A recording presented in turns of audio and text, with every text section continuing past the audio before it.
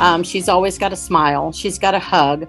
I've seen her through the good days, the bad days, um, chasing children out in the parking lot in her pajamas. She showed a genuine love for all of her kids. I mean, if even if I wasn't married to her daughter, I'd still remember Miss Walthall.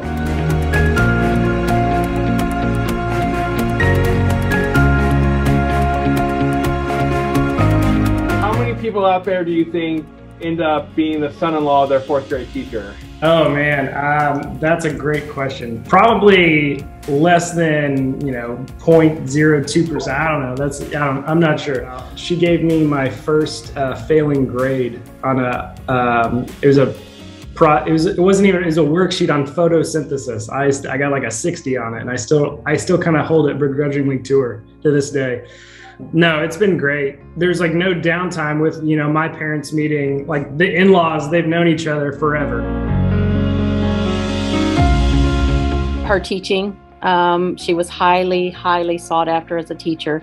Everybody requested, everybody wanted in her classroom when she was a teacher at Newport. And then when she moved into the administrative role, she took it, she ran with it. Um, she's got a heart of gold. Um, what can I do to help you? Um, that's a, a, question we hear a lot from her. How can I help you? What can I do? You know, dealing with 23 years of kids like over and over each day. Um, I never really see, saw her like get worn down or anything. She was always peppy. There was one time, I don't know, maybe it was a show and tell, and I remember, I think his name, uh, it was Cade Ramirez, yeah, in fourth grade. Um, he brought this lizard to class. It was probably you know 18 20 inch lizard uh, that he had. And uh, it got out because we were messing with it and it took off towards her desk. Through harvey she was out there in the community um, through you know you name it um, we've seen our share of adversity throughout the years and she's been there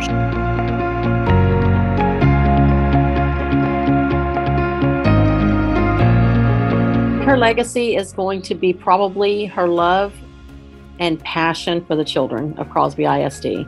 They love her. They just love her. She celebrates the little things, she celebrates the great big things, and she makes them feel special in doing that. Thank you. Uh, thank you, Karen, for being such an awesome teacher. Um, you've molded me into the person I am today. Um, you don't know how big your impact was on me.